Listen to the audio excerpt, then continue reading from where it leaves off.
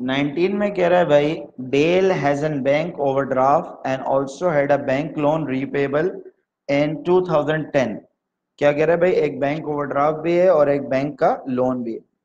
और आगे क्या कह रहा है, भाई which are shown as long term liability in balance sheet आपको बताना भाई बैलेंस शीट में लॉन्ग टर्म लाइबिलिटी में क्या आएगा? क्या बैंक लोन हमने लिया हुआ है? अच्छा चूँकि ये ईयर एंड कब हो रहा है? ईयर एंड हो रहा है 2007 में, और अगर हमें लोन रीपे करना है 2010 में तो ये लोन क्या होगा? ये होगा लॉन्ग टर्म लाइबिलिटी सही है ना? अक्रूड इंटरेस्ट कभी भी लॉन्ग टर्म नहीं होता। अक्रूड इंटरेस्ट क्या होता है?